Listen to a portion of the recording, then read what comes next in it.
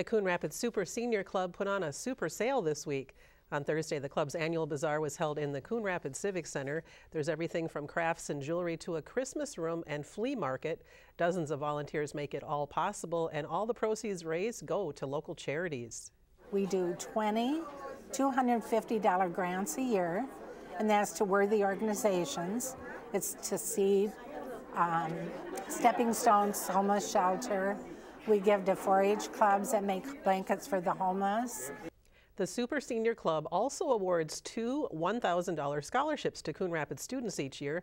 The club will celebrate its 40th anniversary next year. The bazaar has been going strong for 35 years.